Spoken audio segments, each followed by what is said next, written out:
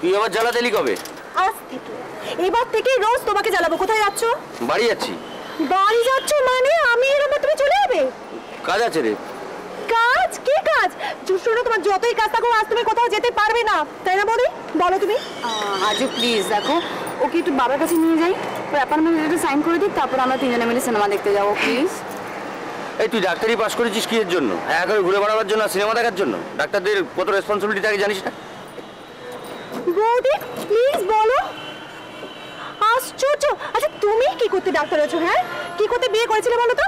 বউয়ের কথা শোনো না বলে তাই তো? হুম? শোনো বড়দের অনেক দায়িত্ব থাকে। তুমি প্লিজ সর সর। আশ্চর্য! বৌদি প্লিজ তুমি কিছু বলো তোমার একটা কথাও শোনে না দেখেছ তো? একটা কথাও শুনলো না। দেখো চলে যাচ্ছে। আশ্চর্য প্লিজ কি হলো? চল আমরা বাবার কাছ থেকে ঘুরে আসি।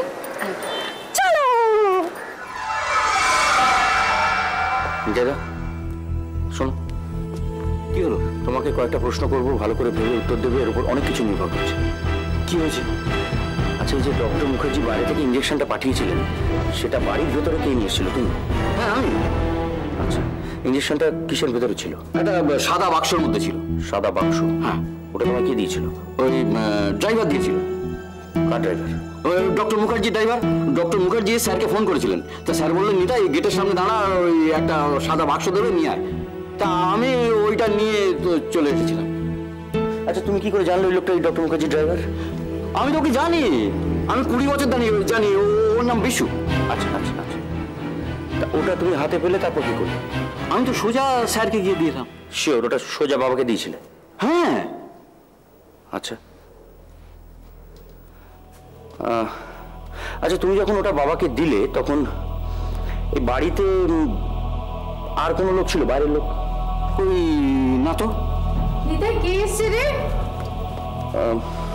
তুই এত তাড়াতাড়ি চলে এলি? হ্যাঁ এক সেকেন্ড। বলছি ও দেখ না ক্যাটারিং মা প্লিজ এক সেকেন্ড প্লিজ আচ্ছা একটু ভালো করে ভেবে বলো তো।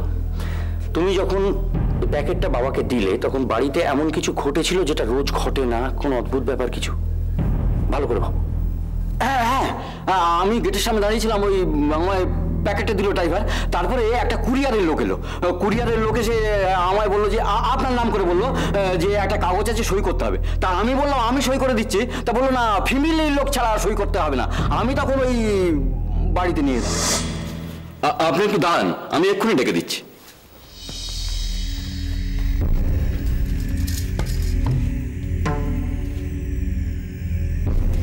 বৌদি উনি এসেছেন ওই কুরিয়ারের লোক বর্দার জন্য কি একটা জিনিস নিয়ে এসেছে? শুনছেন ভাই আহ, আপনি ওনা- ওনাকে বলতে পারেন। ও আমি ওই স্যারের ইঞ্জেকশনটা দিয়ে কিনে আসছি। ফ্যামিলির লোক ছাড়া সই হবে না। আচ্ছা। হ্যাঁ রে আমি তখন হোপ থেকে বাড়ি ঢুকে দেখলাম যে সোহিনী ওই কুরিয়ারের লোকের সঙ্গে কথা বলছে। সোহিনী কি বলছিল? বলল যে এই বাইরের দরজাটা খুলে রেখেছে সত্যি বাবা। এই নিতাইটাকে নিয়ে না আমি আর পারি না। নিতাই কি কি ব্যাপার? কিছু না মা ওই কুরিয়ার সার্ভিস থেকে এসছে। দাদা আমি তো বারবার বলছি এখানে অশোক বলে কেউ থাকে না। সরি ম্যাডাম হ্যাঁ। বোঝো। অশোক নামে বাড়িতে কেউ থাকে না এইটুকু কথা বলার জন্য সোহিনীর এত সময় লেগে গেল। আমার মা বারণ করেছিল। আমার মা বলেছিল যে বাইরের লোক ঢোকালি কেন? তা আ- আ- আ- আ- আপনার নাম বলল। আপনার নাম বলল তাই আমি ঢুকেছিলাম। তো এই লোকটা যে আমার নাম বলেছিল সেটা তুমি মাকে বলেছিলে? হ্যাঁ আমি তো মাকে বলতে যাচ্ছিলাম কিন্তু ছোট বৌদি আমাকে জোর করে বাইরে বার করে দিল। সোহিনী? হ্যাঁ রে সোহিনী ওই কুরিয়ারের লোকটাকে না বের করে দিয়েছিল বাড়িতে খুব তাড়াতাড়ি বের করে দিল। আচ্ছা আচ্ছা এখন তুই এসব কথা জিজ্ঞেস করছিস কেন? না কিছু না কিছু না কিছু না। শোনো এই আমরা যে এইসব নিয়ে আলোচনা করেছি এটা যেন বাড়ির আর কেউ না জানে কেউ না। না আমি আমি তোকে জিজ্ঞেস করছি প্লিজ প্লিজ একটু একা থাকতে দেবে প্লিজ প্লিজ মা প্লিজ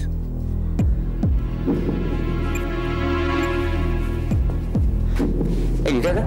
হ্যাঁ হ্যাঁ হ্যাঁ বলো। আচ্ছা কড়া করে কফি করো তো একটু।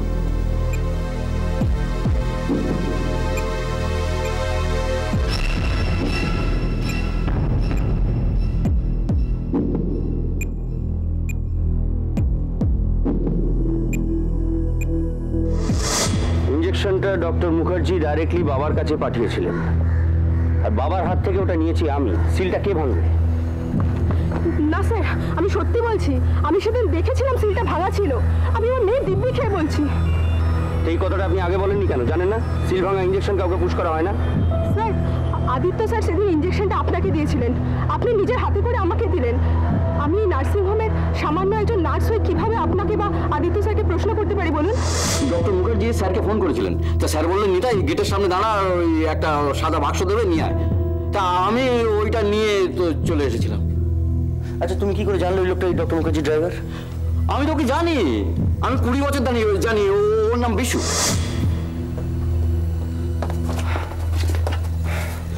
এত দেরি করে বাবা জানি না কি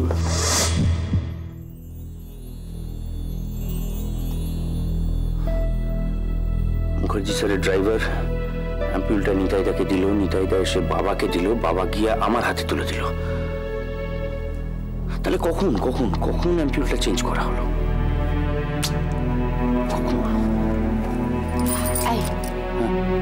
কি হয়েছে তোমার? কিছু না। তুমি কি ভাবছ বলো তো? কিছু ভাবছি না। আজও? তখন তুমি আমার সঙ্গে কথা না বলে চলে গেলে কেন? তখন একটু ভুল করেছ। ঠিক আছে আমাকে আদর কর। এখন? হ্যাঁ এখন। এই ছেলে মানুষই করো না তুমি? ছেলে মানুষই করব। তুমি এখন আমার সঙ্গে থাকবে আমার সামনে বসে থাকবে আমার দিকে হাঁ করে তাকিয়ে থাকবে আমার কি হচ্ছে? আমি পারব না। বাবা ভয় পাই দিয়েছিলি। তো অশুভ মেয়ে কেন বলতো তুই? আমি আর তোমরা? আচ্ছা নিজের বরের সঙ্গে প্রেম করতে গেলে ঘরের দরজাটা লক করে নিতে হয় তুমি জানো না? এটাকে বার করবে আমি কিন্তু মাথাটা সত্যি ফাটিয়ে দেবো বেরো। যেতে পারি। একটা শর্ত আছে। শর্ত? ঠিক আছে শুনি কি শর্ত? শর্তটা হলো তোমাদের আমাকে বলতে হবে তোমরা কবে প্রথম প্রেমে পড়েছিলে? কে প্রথম প্রপোজ করেছিল কবে প্রথম চুমু খেয়েছিল আর কে প্রথম এই বেরো। বেরো। বেরো তুই ঘর থেকে আগে বেরো পরে আজ ওকে মেরো না,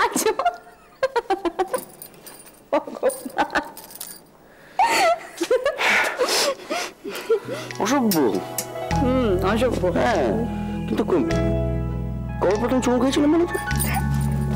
শোনা শোনা শোনা শোনা শোনা না ব্যাপারটা কিন্তু ঠিক কথাই বলে গেল। মানে প্রশ্ন জাগিয়ে গেল। কবে প্রথম চুমু ভুলে গেছি। কিন্তু মনে করার চেষ্টা করি। মনে তো করতেই পারি বলো। আমার মনে পড়ে যাবে। দেখো তুমি কবে প্রথম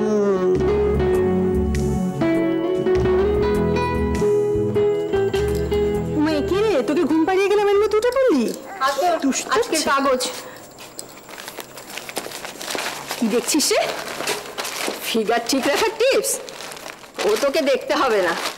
তোর একটা বাচ্চা হয়েছে কে বলবে? তুই এখনও যা আছিস না? আমি একটা চাকরি খুঁজছি যদি। চাকরি? এতটুকু বাচ্চা রেখে চাকরি করবি? তোর শাশুড়ি রাগ করবে না? রাগ করলেও চাকরিটা যে আমাকে করতেই হবে। কেন রে? তোর বর এত ভালো চাকরি করে শ্বশুরবাড়ির অবস্থা এত ভালো আর তোকে চাকরি করে বাচ্চা মানুষ করতে হবে? তোর বর কি একটু কিপটে নাকি রে ম্যাঙ্গোলেনটা কোথায় জানো কেন? ওরা বিজ্ঞাপন করেছে সেলসের লোক নেবে। Walk in interview. আমাকে যেতে হবে। উমা সত্যি তুই চাকরি করবি? এতটুকু বাচ্চা ও যদি কান্নাকাটি করে তুই পারবি? আমাকে যে পারতেই হবে যদি আর আমি আমার ছেলেকে এমন করে মানুষ করব ও সহজে কান্নাকাটি করবে না। ওকে যে আরও অনেক বড় লড়াই লড়তে হবে।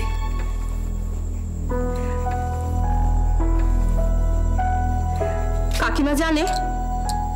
না। কাকিমা রাজি হবে? দেখিস, কাকিমা খুব রাগ করবে।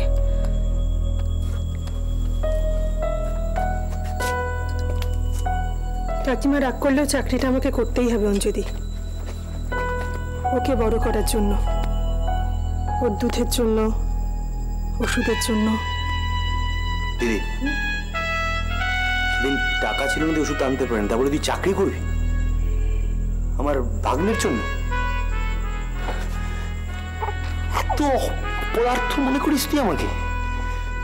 তুই- চাকরি না করলে তোর ছেলের ওষুধ তোর ছেলের দুধ আসবে না? ভাই ভাই দিদি তোকে একটা কথা পরিষ্কার বলে দিচ্ছি। আমি যতদিন এই বাড়িতে আছি তোর ছেলের সমস্ত দায়িত্ব আমার। তার জন্য পয়সা রোজগারের জন্য তোকে রাস্তা বেরোতে হবে না। ভাই। দেখ দিদি তোকে আর একবার বলে দিদি আর একবার চাকরির কথা বলিস না তোকে আমি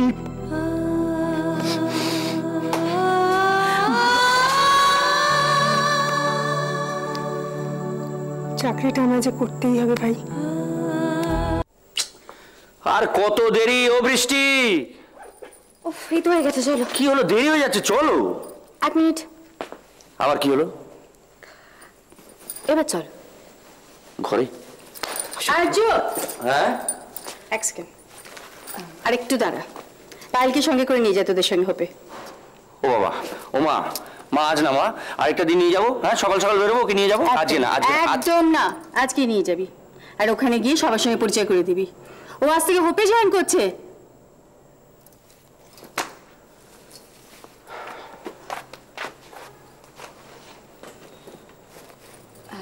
মা তুমি একটা কাজ করো না তুমি গিয়ে পাইকে বলো তাড়াতাড়ি রেডি হতে। তোমার ছেলে ওকে ফেলে বেরিয়ে যাবে তুমি জানো না তুমি যাও। আমি আমি কি করব বল? তখন থেকে সাজছে। কতবার বললাম সাজা শেষ হচ্ছে। পায়েল! পায়েল কি হলো কি? চলো তো কেটে পড়ি। আরে চলো না আমি বলছি আমি রেডি চলো।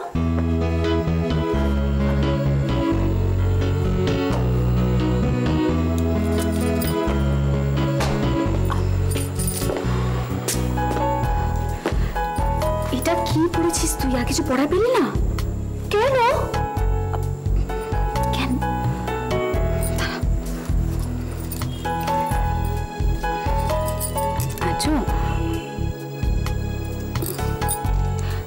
দেখো, ছেলে মানুষ তো, ঠিক বুঝতে পারেনি হোপটা একটা নার্সিং হোম আর ও একজন ডাক্তার।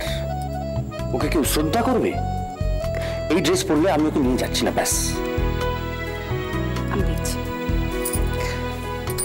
যাকে চেঞ্জ করে যাকে চেঞ্জ করে আয়, আমি বলছি যা। চল চল চল। চল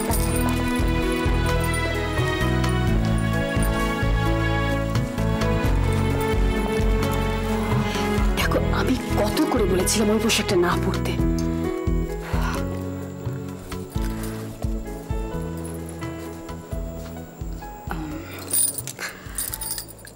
আজু আমি বলছিলাম যে হয়ে যাবে। ওয়েট না আমার জানার অত বোতাম লাগাতে হবে না তুমি বুঝছ না কি কি এটা কি পোশাক? পায়ে পায়ে?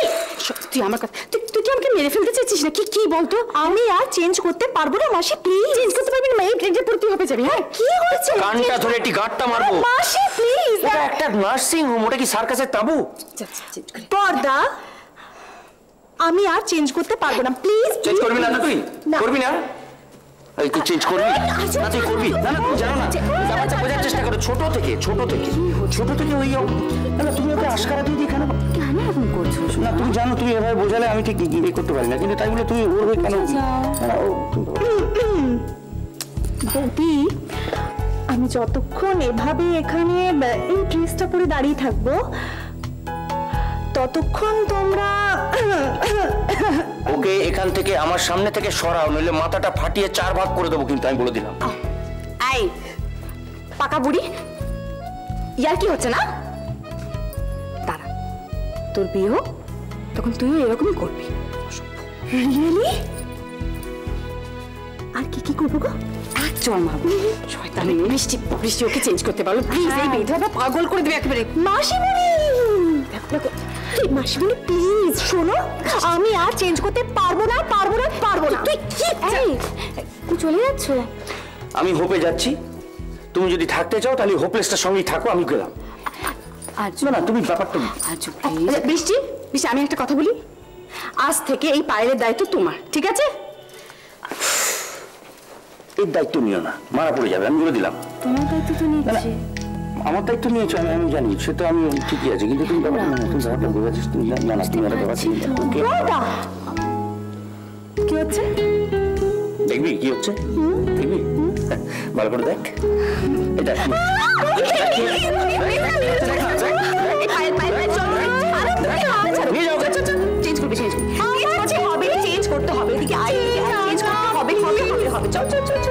রাখছি।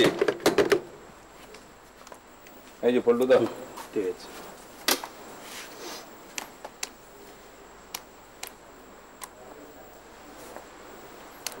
বলুদা ভালো তো? বৌদিয়া চাল আছে? ভাই অভি মাস গেলে আমার থেকে তুমি বারোশো করে টাকা পাও কয়েকটা কাজ করে দেওয়ার জন্য। যেমন তো দোকানটা খুললে পরিষ্কার টরিষ্কার করে একটু ধূপ ধুয়ে দিলে দোকানে বসলে তারপর কাস্টমার এলে। তা বিয়ের পর থেকে সেসব কাজ তুমি বন্ধই করে দিয়েছ। বন্ধ করেছি তুই বন্ধ করবি তো? আজ থেকে তোমার জন্য জান হাজির আমার। তুমি বলো তো রাস্তা থেকে কাস্টমার ধরে মানবো? ঠিক আছে। তুমি একটু বসুন আমি একটু টিফিনটা করে আসি। না পল্টুদা তোমার সঙ্গে আমার দরকার আছে। দেখো ভাই যদি টাকা পয়সার দরকার হয় তো আমায় মাফ করো। টাকা পয়সা দরকার না। টাকা পয়সা দরকার। আমার দিদি ওই বাচ্চা যে ছোট তো ওর ওষুধ ওষুধের জন্য আমার টাকা লাগবে। এসব গল্প আমি অনেক শুনেছি। আমি বললাম শোনো না এটা তো কোনো ধার না অ্যাডভান্স তুমি মাইনে থেকে কেটে নেবে অ্যাডভান্স তাই? হ্যাঁ। আজ পর্যন্ত যেসব টাকা ধার নিয়েছি তুমি আর ক্যাশের যে টাকা তোমার কাছে এখন জমা আছে ফেরত দেওয়া নেই সে সব তুমি আগে শোধ দেবে এখানে এসে তারপর তো মাইনের কথা উঠছে বুঝতে পারছ না বাচ্চা আর ওষুধ দিদিকে কথা দিয়েছি ওষুধটা নিয়ে আসব আমি আর একটি পয়সাও দিতে পারব না বুঝেছ? একটি পয়সাও না। এই বাবা তুমি কিন্তু যদি না না আমি চাকরি ছেড়ে দেবো যা পার করে আমি একটি পয়সাও দেবো না। বলছি বাচ্চা শুধু দেবে না মানে তুমি সব কি বলে এটা এত বড় শহীদ না মনে করছ বলছি না, বাচ্চা এই, কি? এই, বাচ্চা হবে না, আমি যাব আমি।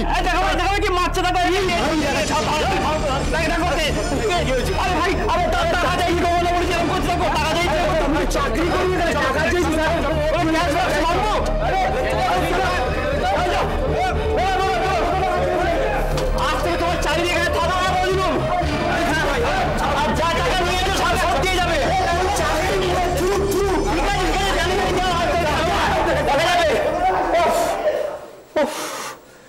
কি ছেলে রে বাবা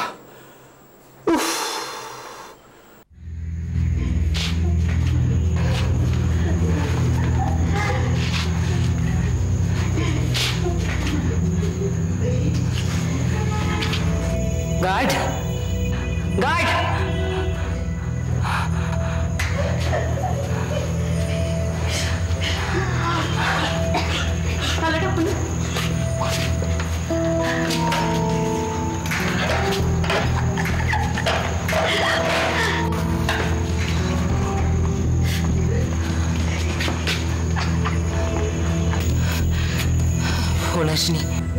না ম্যাডাম। কেন আসেনি? ম্যাডাম আপনার